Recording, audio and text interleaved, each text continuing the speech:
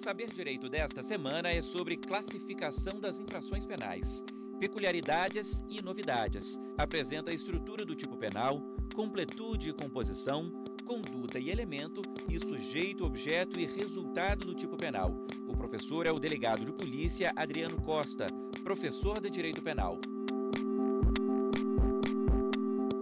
Olá, me chamo Adriano Souza Costa, sou delegado de polícia no estado de Goiás, professor, escritor e membro da Academia Goiana de Direito. Estou aqui para a nossa aula 4 do curso de Classificações de Infrações Penais.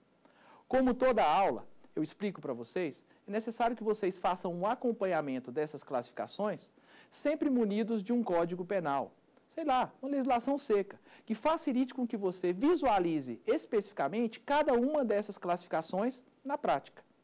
Como eu disse para vocês lá no começo do curso, eu iria ministrar várias classificações, desde as mais ordinárias até as mais complexas.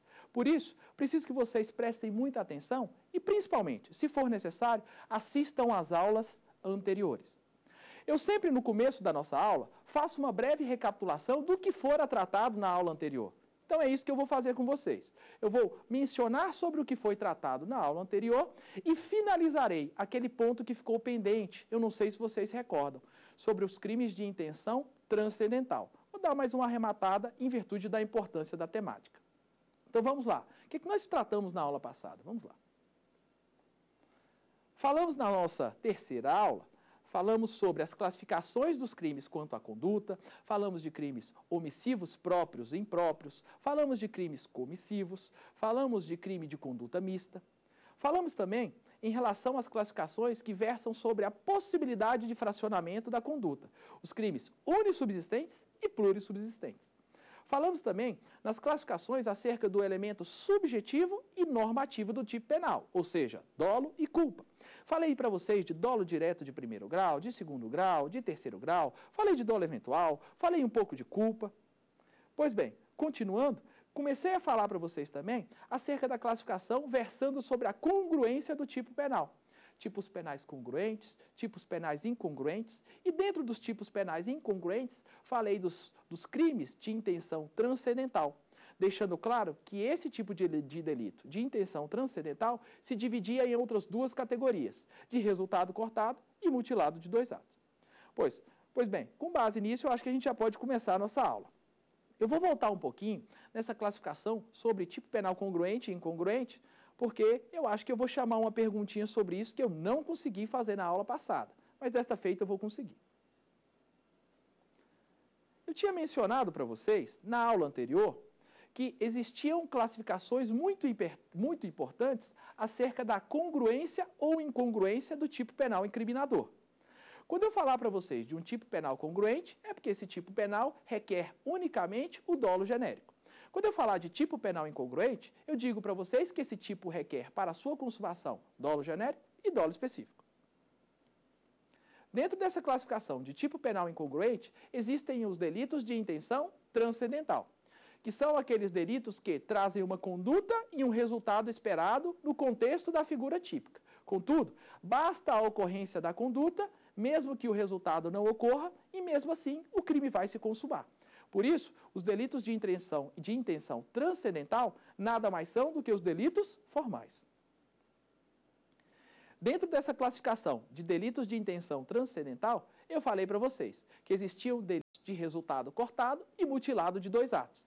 Essas expressões, cortado e mutilado, indicam que, por mais que tenha no tipo penal incriminador um resultado previsto, ele não é necessário para a consumação. Por isso, cortado ou mutilado. É nesse contexto, fazendo essa breve recapitulação do que fora tratado no finalzinho da aula anterior, que me parece oportuno chamar a pergunta, a qual eu não consegui, em virtude de explorar ou de explorar determinadas temáticas de forma mais percussiente, eu não consegui atender no prazo legal. Vamos lá? Vamos ver essa pergunta? Gostaria de saber se o crime de homicídio teleológico é um crime de intenção transcendental. O delito de homicídio teleológico é um tipo de intenção transcendental? Que excelente pergunta. Muito boa mesmo. Ora, mas para que a gente responda, é importante que você saiba o que é o delito de homicídio teleológico. O famigerado delito de homicídio teleológico é aquele praticado com a finalidade de que a execução de um crime posterior venha a ser possível. Imagine o seguinte: o indivíduo resolve praticar um homicídio em face de, sei lá, um guarda de uma agência bancária, com a finalidade de, em não existindo um guarda dessa agência bancária, um fato posterior que seja o roubo da agência seja facilitado. Logo, aqui existe um homicídio teleológico, a morte praticada com uma finalidade de, mais à frente, um outro crime ser praticado. Teleológico por isso, porque visa o homicídio ao atingimento de uma outra finalidade. Essa outra finalidade é a execução de um outro crime no futuro. Esse tipo penal específico, qual seja o homicídio teleológico, está elencado no artigo 121, parágrafo 2 inciso 5 do Código Penal. A pergunta que me foi feita foi: ora, esse delito específico, qual seja o homicídio teleológico, é ele um crime de intenção transcendental? Vamos lá, vai ficar fácil. Primeiro, para eu falar se o delito é de intenção transcendental, a primeira dúvida que eu tenho que resolver é se esse delito é um tipo penal congruente ou incongruente. Vamos lá. Ora, esse delito, ele precisa de uma intenção especial do agente? Por óbvio. Não basta ao indivíduo que vai praticar esse homicídio ter vontade e consciência de matar alguém. É necessário que essa morte tenha uma finalidade específica, qual seja praticar ou garantir a execução de um crime futuro. Ora, já deu para ver então que esse verbo matar, ele está permeado por essa finalidade específica, qual seja, matarei com o fim específico de garantir a execução de um crime futuro. Logo, nesse crime de homicídio teleológico, tenho eu dolo genérico, vontade e consciência de matar, e tenho dolo específico, qual seja, para que você matará? Com o fim de executar futuramente um outro crime. Ora, se o presente tipo penal requer dolo genérico e dolo específico, é porque nós temos um tipo penal incongruente. E nós sabemos que os delitos incongruentes possuem também essa classificação ramificada de delitos de intenção transcendental. Não sei se vocês recordam da aula passada, mas um delito de intenção transcendental é aquele que não necessita da ocorrência de um resultado, qual seja, praticar um crime futuro. Contudo, se esse resultado for acontecer, nós veremos que ele acontecerá mais à frente, ou seja, de forma transcendente, futura, que é bem o caso. No caso que eu mencionei para vocês, no exemplo que eu mencionei, existe aqui a morte de um vigilante com a finalidade de, a posteriori, sei lá, no outro dia, se praticar o roubo da agência bancária. Note então que, independentemente da agência ser roubada no outro dia, se isso for efetivamente acontecer, haverá um lapso temporal entre essas duas condutas. E esse resultado, se acontecer, acontecerá de forma transcendente, ou seja, futura. Por isso essa pergunta é tão importante. O delito de homicídio teleológico é sim um bom exemplo de delito de intenção transcendental. Muito boa pergunta. Continuando sobre as nossas classificações, agora passarei a falar das classificações quanto ao sujeito ativo, que é quem pratica o crime. Ora, Aqui falarei para vocês quanto à quantidade de pessoas que são necessárias para realizar um tipo penal incriminador. Existem crimes que bastam uma pessoa na prática, como autor do fato, para que esse crime se realize. Já outros delitos, é necessário que haja uma pluralidade de pessoas, senão esse crime não se consuma. Essa classificação, então, ela é dividida dicotomicamente entre crimes unissubjetivos e plurissubjetivos. Crimes unissubjetivos são aqueles que, para a consumação, basta no mínimo uma pessoa. Agora é importante que fique claro na sua cabeça que nos crimes unissubjetivos é perfeitamente possível que ele seja praticado por um bando de pessoas. Por exemplo, no crime de roubo. É possível haver um crime de roubo com 20 pessoas sendo autoras? Sim, mas o que me importa não é saber quantas pessoas efetivamente praticaram essa infração penal. É preciso saber quantas pessoas, no mínimo, podem praticar essa infração. Ora, se é possível praticar essa infração penal de roubo com uma pessoa, já é, então, esse crime unissubjetivo. Eu quero deixar isso mais claro para vocês. No crime unissubjetivo, é possível o concurso eventual de agentes. Contudo, a regra é que esse crime pode ser consumado com a prática de um só sujeito ativo. É perfeitamente possível que haja um só roubador e o crime se consume. Diferentemente disso, são os crimes plurissubjetivos. Nos crimes plurissubjetivos, eu preciso já de início de uma pluralidade de pessoas, senão esse crime não se consuma. Contudo, é preciso que vocês notem que você não pode conceituar um crime plurissubjetivo como sendo aquele que precisa de duas ou mais pessoas para a consumação. Adriano, por que, que não posso falar isso? Ora, porque a depender do tipo penal incriminador, a pluralidade que é requerida para consumar o crime vai muito além de duas pessoas. Vou dar alguns exemplos para vocês, porque vai ficar muito mais fácil. Imagine o artigo 35 da Lei de Drogas, que seja, associação para o tráfico. Esse tipo penal, ele não se consuma com uma só pessoa. Por óbvio, não é um crime unissubjetivo.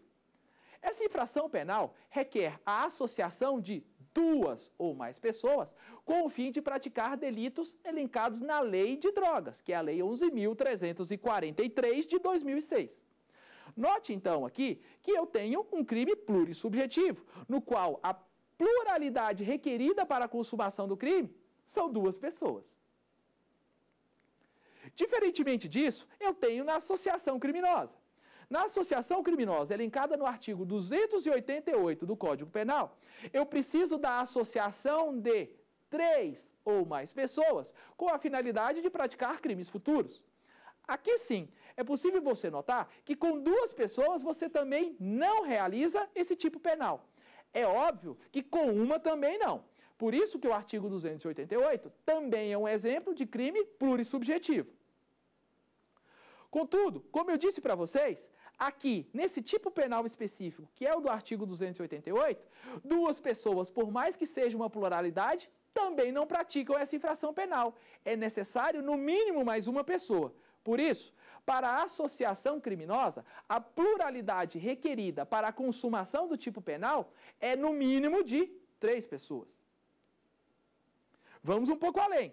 Vamos pensar na lei de organização criminosa, que lá no seu artigo 2 incrimina a conduta de um indivíduo integrar um grupo desse quilate. Ora, uma organização criminosa nada mais é do que uma associação de quatro ou mais pessoas estruturados de forma ordenada, com divisão de tarefas, que seja. Mas a pluralidade de pessoas que é requerida para a consumação dessa infração penal são, no mínimo, quatro pessoas. Por isso, também é um crime plurissubjetivo. Mas somente duas pessoas não praticariam, nem muito menos três pessoas. Somente o número de quatro ou mais pessoas é factível de consumar o crime elencado no artigo 2 da Lei de Organização Criminosa. Já deu possível, já foi possível então visualizar a diferença de crimes unissubjetivos e plurissubjetivos.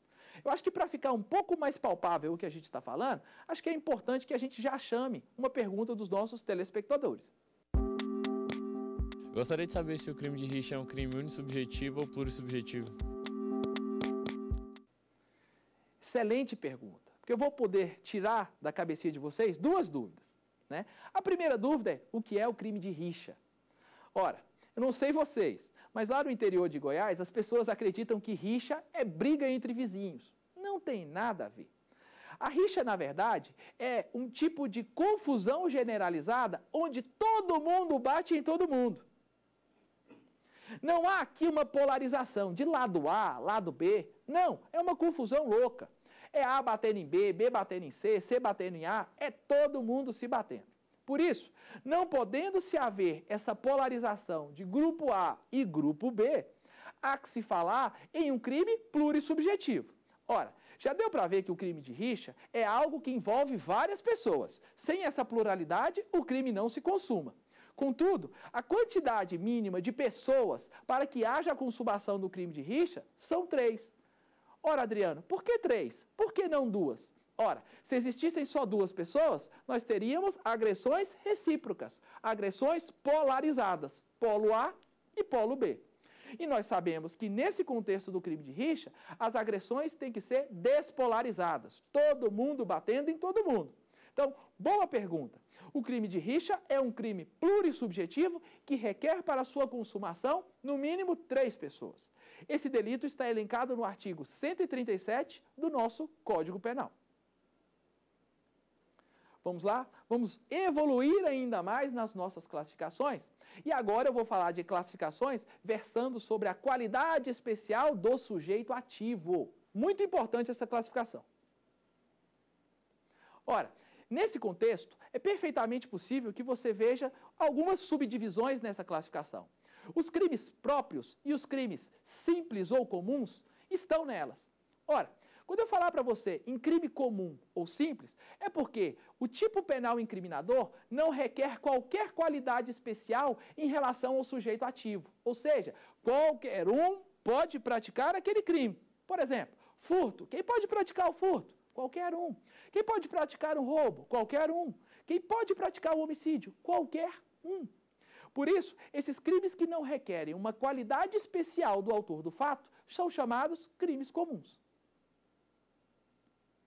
Ao revés, nós temos crimes também que são chamados de crimes próprios. Esses crimes próprios requerem uma qualidade especial do sujeito ativo, ou seja, do autor do fato. Aqui, o tipo penal já deixa bem claro que tipo de qualidade especial é requerida para a consumação dessa infração penal. Vou dar alguns exemplos para vocês. Sei lá, imagine lá o crime de falso testemunho, elencado no artigo 342 do Código Penal. Só quem pode praticar o crime de falso testemunho é quem é testemunha. Viu? Não é qualquer um que pratica esse crime. É necessário ser dotado de uma qualidade especial, qual seja, está exercendo esse munus público de ser testemunha.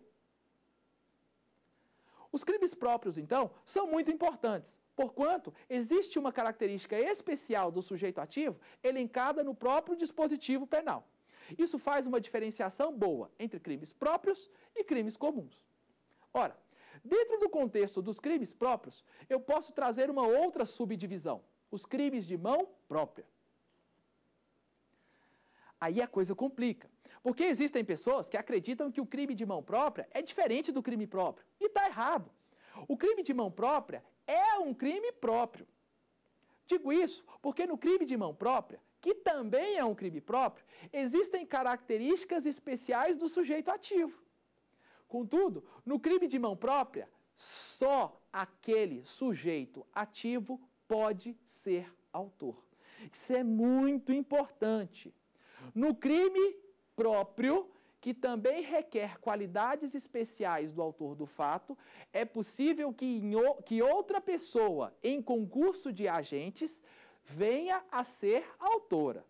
No crime de mão própria, isso não acontece no crime de mão própria, é perfeitamente possível que existam partícipes, mas não é possível que outra pessoa seja autora da infração penal, senão o próprio indivíduo mencionado no tipo penal incriminador. Ora, muito importante saber então que todo crime de mão própria é um crime próprio. Contudo, nem todo crime próprio é de mão própria.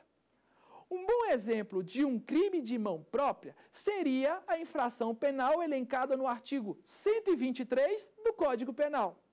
Lá, a incriminação da conduta de infanticídio. Ora, nesse, nesse, nesse tipo penal incriminador em específico, eu tenho uma característica especial da autora do fato, a qual é a mãe é a mulher que acabara de ter uma criança e está com aquele turbilhão de emoções mexendo com a sua capacidade de discernir, que é o estado puerperal. O estado puerperal nada mais é do que fruto desse turbilhão de hormônios que a mulher passa nos momentos do parto e que lhe sucedem. Por isso, eu exijo uma qualidade especial do sujeito ativo, qual seja ser mãe. Está nesse contexto também de sofrendo em relação às dores do estado puerperal, daquele desequilíbrio oriundo do estado puerperal. Por isso, nós sabemos então que o infanticídio é próprio. Contudo, a doutrina também classifica essa infração penal como um delito de mão própria. Aí que está a confusão. Quando eu tenho, então, esse contexto de um crime de mão própria,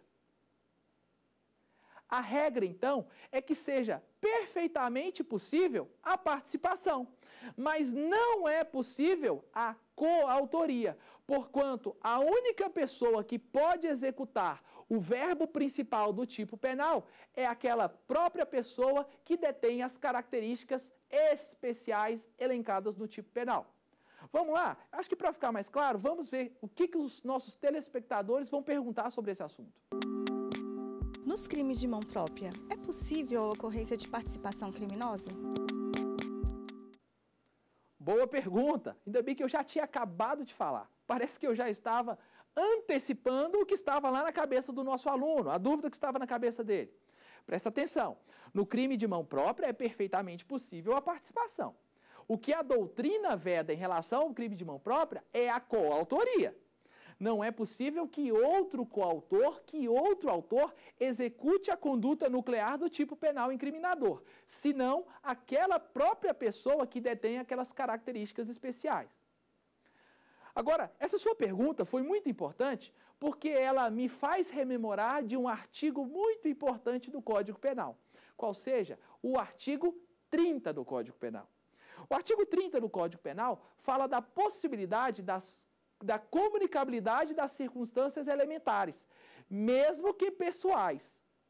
Quando eu falo para vocês de crime de mão própria, esse artigo também incide.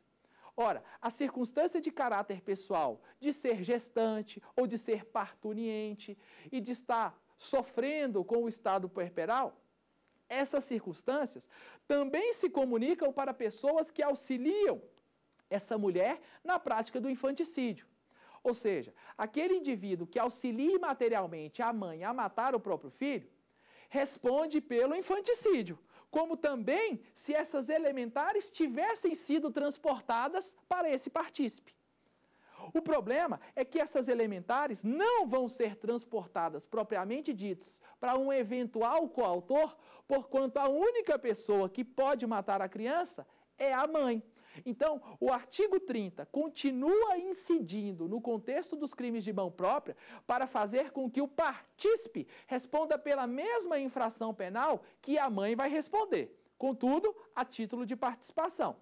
Não é possível que haja outra pessoa como coautora executando esse verbo nuclear, porquanto o crime de mão própria só aceita que a mãe, nesse caso, pratique o ato de lesa vida. Espero que isso tenha ficado claro. Então, no caso do crime de mão própria, perfeitamente possível a participação. O que não é possível para a doutrina majoritária é a coautoria. Ora, existe uma classificação também muito interessante, que são os chamados crimes bipróprios. Ora, se eu estou falando para vocês de crime próprio que leva em consideração uma característica específica do sujeito ativo, no crime bipróprio há uma característica específica do autor e há também, no próprio tipo penal incriminador, uma característica específica da vítima. Eu acabei de dar um bom exemplo de crime bipróprio. Quando eu falo para vocês de infanticídio, quem tem que ser autor? Olha, tem que ser a mãe tem que estar em estado puerperal. Note, ela tem características específicas. Ora, e quem vai ser a vítima? Opa, a vítima também não é qualquer um. A vítima tem que ser o próprio filho dessa mãe, preferencialmente o recém-nascido. Logo, nota comigo que nesse tipo penal, artigo 123, não é ele só um crime próprio, porque nesse contexto existe também uma característica especial para a vítima. Por isso, em existindo características especiais para o autor e características especiais para a vítima, no mesmo tipo penal incriminador, nós costumamos nominar esse tipo penal como um tipo bipróprio. Bipróprio. porque é próprio para o autor e é próprio também em relação à vítima. Ambos possuem características especiais elencadas no tipo penal incriminador. Vamos lá? Vamos continuar correndo igual um doido para conseguir falar tudo para vocês. Vamos lá.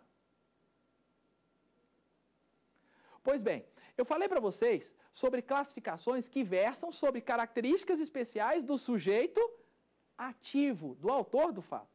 Agora eu falarei com vocês sobre classificações que versam sobre o sujeito passivo, a vítima. Ora, é nesse tipo de classificação que surgem outras subclassificações. Vou falar com vocês acerca desse tipo de classificação sobre os crimes vagos, os crimes de única subjetividade passiva e de dupla subjetividade passiva. Ora, crimes vagos são aqueles crimes que não têm uma vítima direta.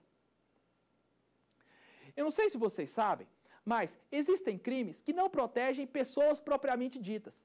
Protegem uma abstração, uma coletividade indeterminada. É o que Roxin falava em espiritualização dos bens jurídicos.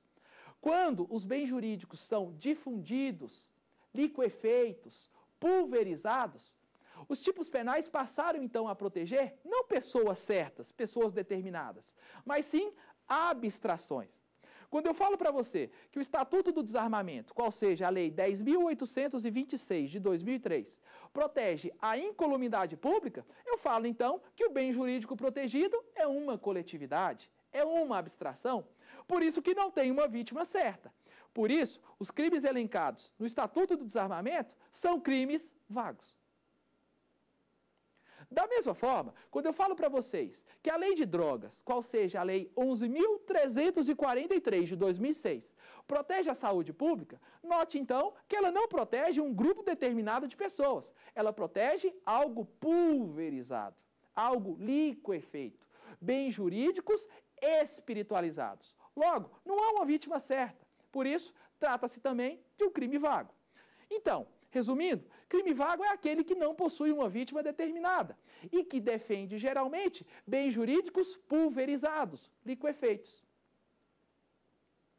De outro turno, há também a seguinte classificação: crimes de única subjetividade passiva, ou seja, o crime até tem uma vítima, mas é uma só.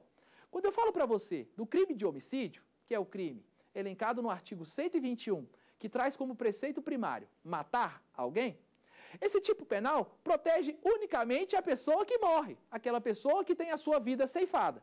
Por isso, neste contexto, a uma só vítima parece infração penal.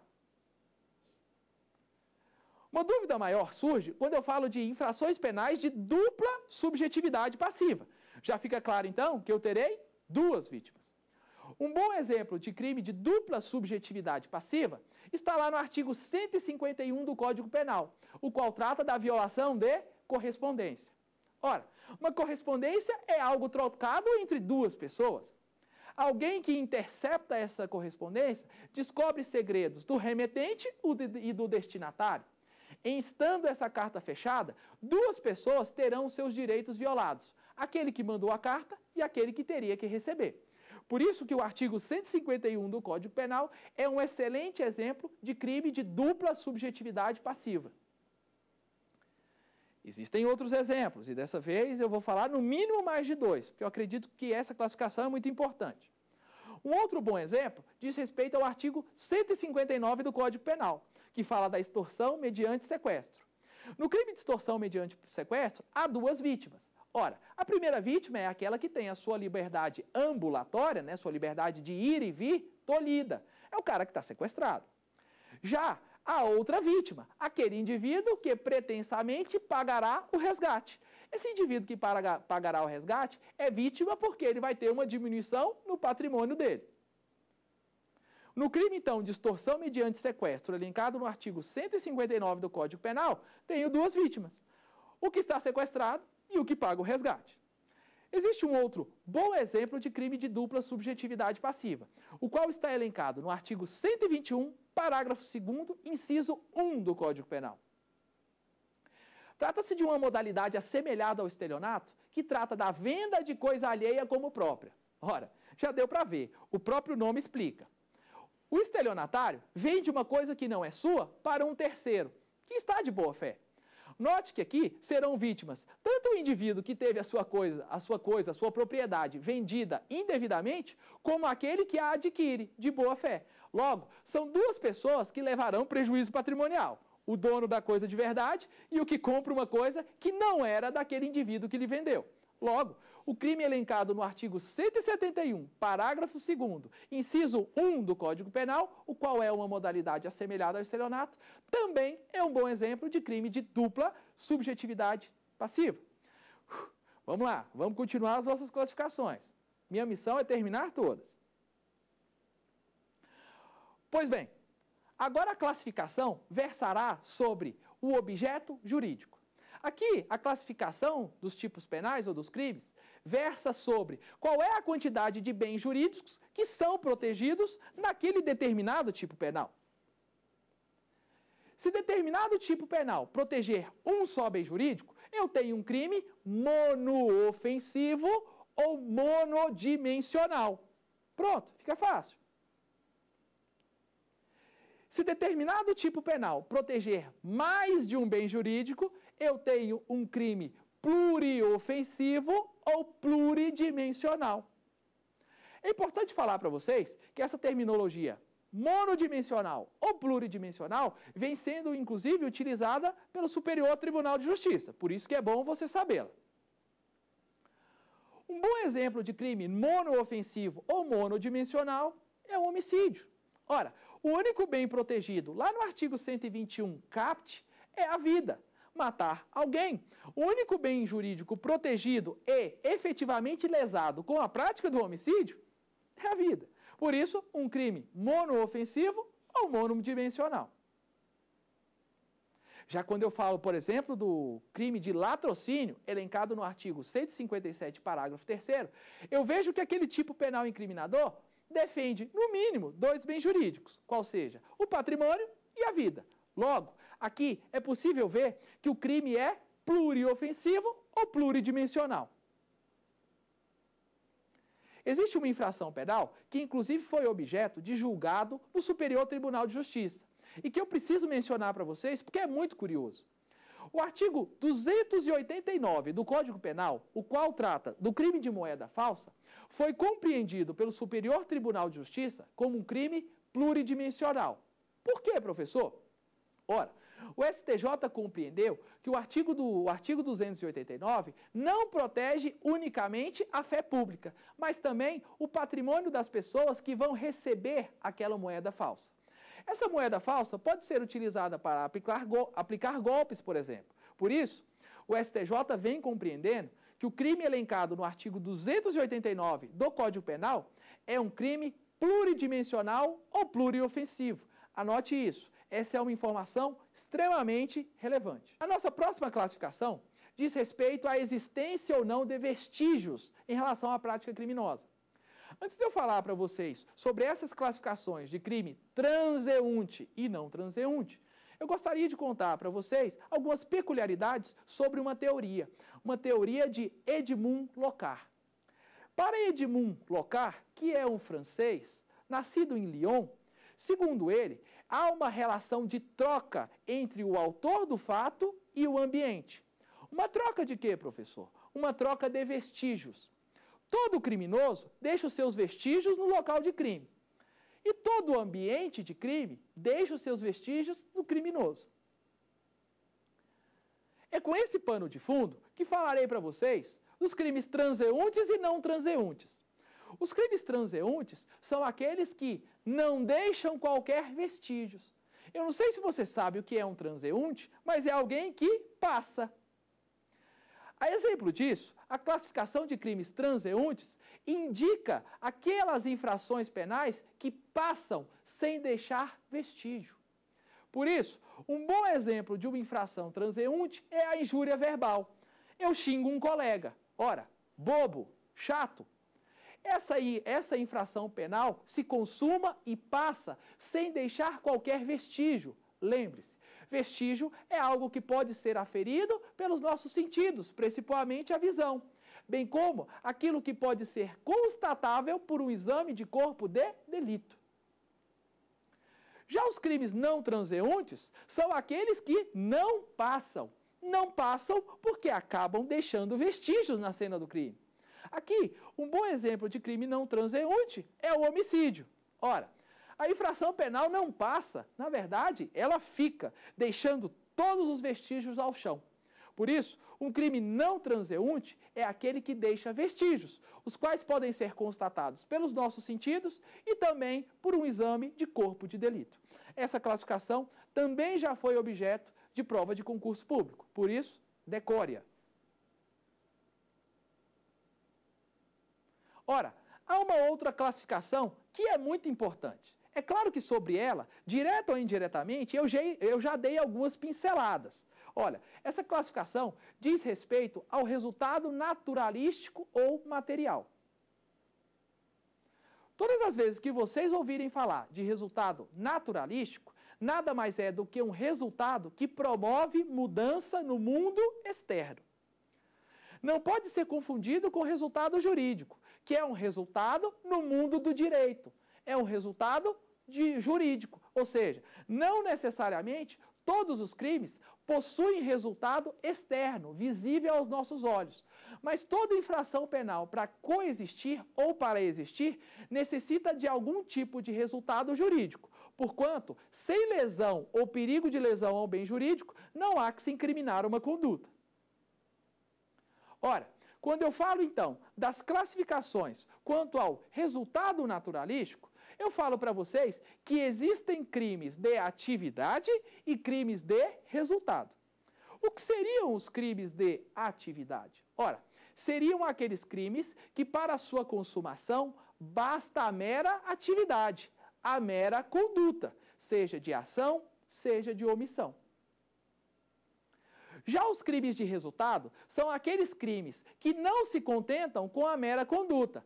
É necessário para a consumação deles a conduta e o resultado. Por isso, são crimes materiais. Para a consumação dessas infrações penais, é necessário que o tipo penal traga uma conduta e o resultado.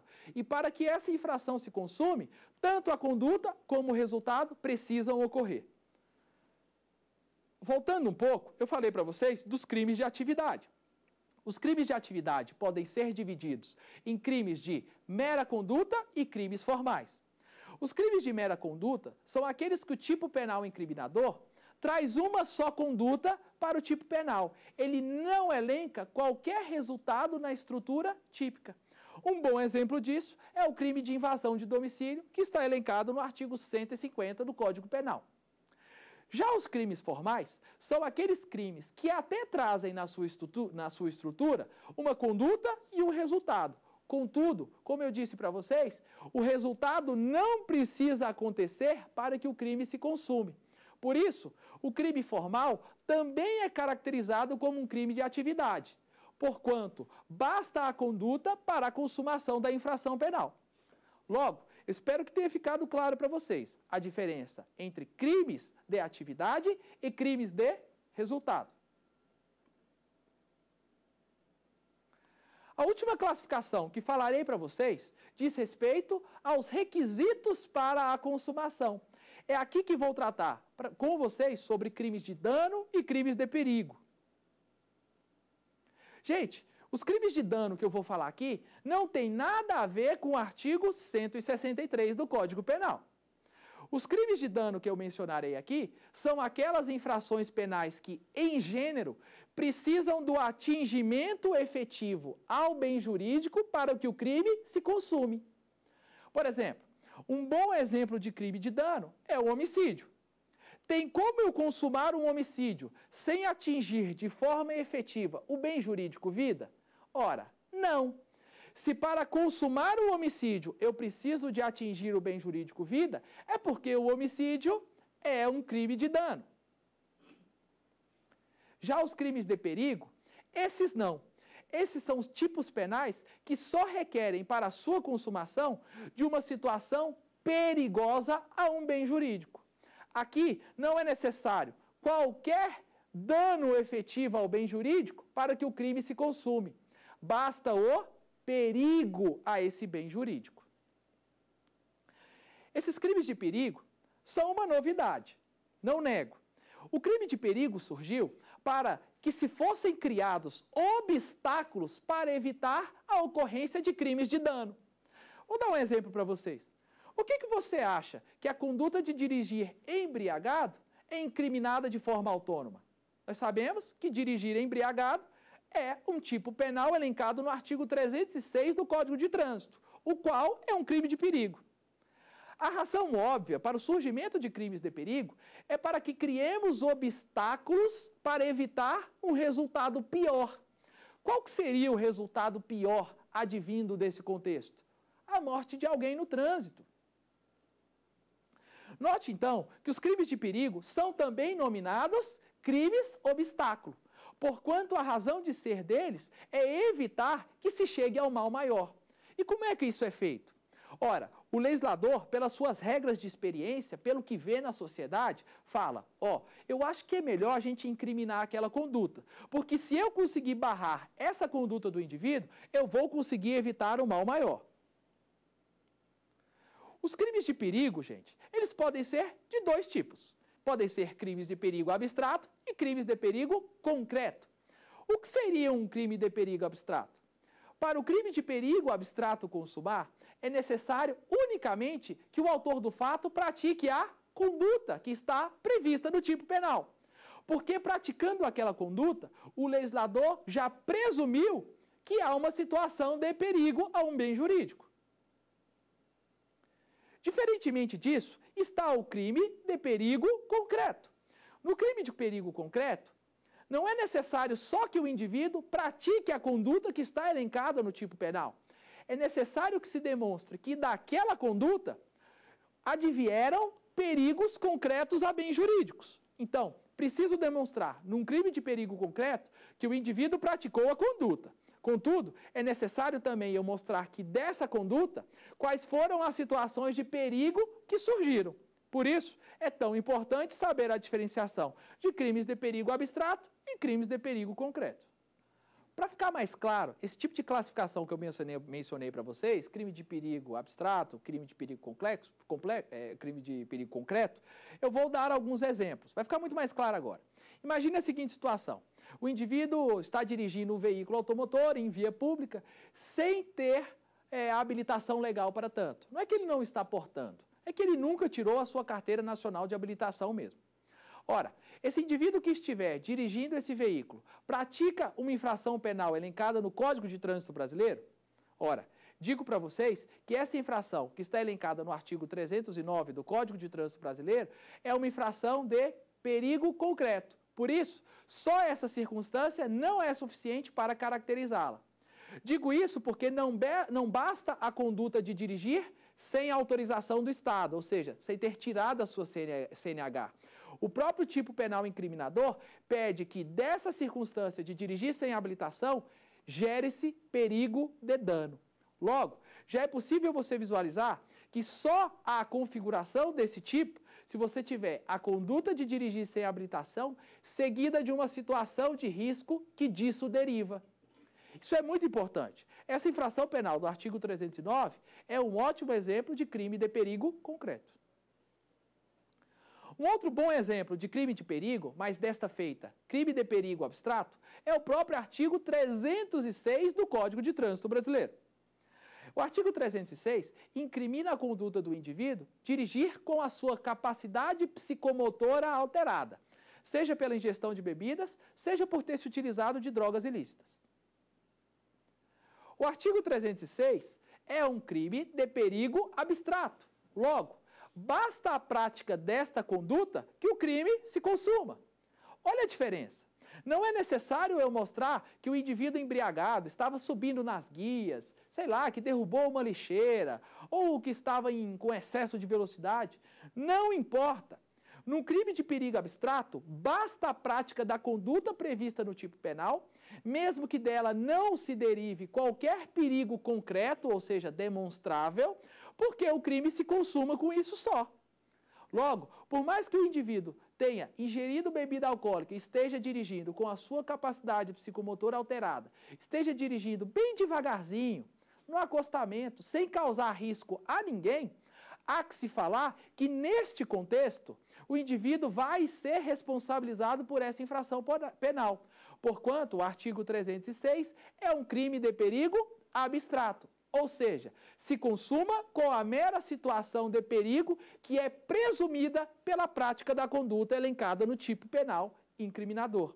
Olha como é importante você saber se um crime de perigo é abstrato ou concreto. Isso é muito importante para o nosso cotidiano, seja dos operadores de direito, seja para aqueles que vão fazer certame.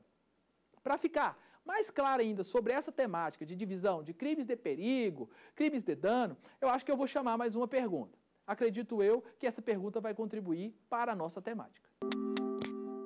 É possível haver crime de perigo culposo? Excelente pergunta. As pessoas tendem a acreditar que os crimes de perigo são punidos unicamente a título de dolo. Está errado existem crimes de perigo culposos. Vou dar um exemplo para vocês. O artigo 250, parágrafo 2 do Código Penal, o qual trata de incêndio culposo. Note então que é perfeitamente possível a existência de crimes de perigo culposos. Essa foi uma excelente pergunta. Pessoal, eu acho importante que agora a gente faça uma recapitulação dos temas que foram tratados nessa aula. Vamos lá serão os seguintes pontos que serão resumidos. O que nós tratamos na nossa aula de hoje? Tratamos sobre, sobre os tipos penais congruentes e incongruentes, sendo que dentro dos crimes incongruentes nós falamos dos delitos de intenção transcendental, os quais podem ser subdivididos em de resultado cortado e mutilado de dois atos. Muito importante essa temática. Falamos também dos crimes unissubjetivos e plurissubjetivos, sendo que esses últimos, os crimes plurissubjetivos, são aqueles que requerem para sua consumação uma pluralidade de pessoas. Falamos também de crimes próprios e crimes de mão própria, sabendo que todo crime de mão própria é um crime próprio. Contudo, no crime de mão própria, existe uma limitação para quem será o autor do fato que só pode ser aquele indivíduo que está elencado no tipo penal incriminador com aquelas circunstâncias especiais, circunstâncias especializantes. Falamos também dos crimes monodimensionais e pluridimensionais. Os crimes pluridimensionais sendo aqueles que protegem mais de uma objetividade jurídica, mais de um bem jurídico tutelado. Falamos também dos crimes de atividade e crimes de resultado, sabendo que os crimes de atividade são subdivididos entre os crimes de mera conduta e os crimes formais. Por fim, finalizamos a aula falando dos, crimes de dano e dos crimes de perigo. Os crimes de dano são aqueles que se consumam somente com a lesão efetiva ao bem jurídico tutelado. Já os crimes de perigo, esses se consumam com a mera situação de perigo ao bem jurídico tutelado. Os crimes de perigo se dividem em crimes de perigo abstrato e crimes de perigo concreto. Pois bem, deu para ver que a aula foi corrida, mas algumas outras classificações serão tratadas na próxima aula. Eu espero você na nossa próxima e última aula do nosso curso de classificações de infrações penais. Até mais. Ficou com dúvidas? Então mande um e-mail para saberdireito@stf.jus.br. E você também pode estudar pela internet. Basta acessar o site tvjustiça.jus.br.